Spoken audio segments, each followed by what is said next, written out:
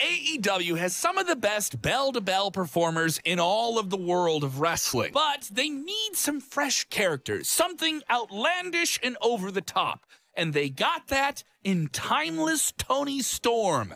She is the reigning and defending AEW Women's World Champion right now, and she is having a whole lot of fun in this run in her career.